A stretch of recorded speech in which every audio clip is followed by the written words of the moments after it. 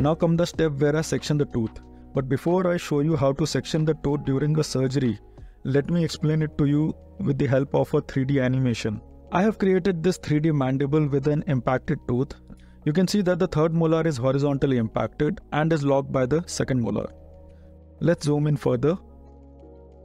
As always, I first create a gutter, buccal and distal to the impacted tooth. Then with the HP6 round burr, I create two ditches on the buccal surface of the tooth as close to the cemento enamel junction as possible. I prefer sectioning of the tooth at the CEJ level because the cementum is easier to cut whereas enamel is very difficult to cut. Then with the 702 straight burr, I connect those ditches to create a section at this point, the section is not complete as the burr reaches only till the half the width of the tooth buccolingually. So I widen the section with a wider 703 burr. Now with a wider section, it will be easier to access the lingual half of the tooth with a 702 burr.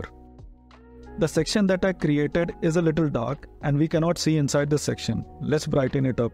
You can see that 1 to 2 mm tooth structure is intact on the inferior side and the lingual side of the tooth. This is done to prevent injury to the inferior nerve and lingual nerve. For more details on this, you can read this article. I place the Coupland elevator inside the section and rotate it. This fractures the section and separates the crown and root. The crown is then removed from the socket. To remove the roots, I place a Cryer elevator inside the distal gutter and push the roots out of the socket. So that's how I am going to remove this horizontally impacted third molar. Now this technique is quite difficult to execute with a straight surgical handpiece. Also, I never expect the cut that I place on the tooth to be straight buccolingually with a straight handpiece. It is possible only when you use a contra-angle handpiece. Many oral surgeons prefer hemisection of the tooth because it is easier to do with a straight handpiece. It is their preference and I totally support it.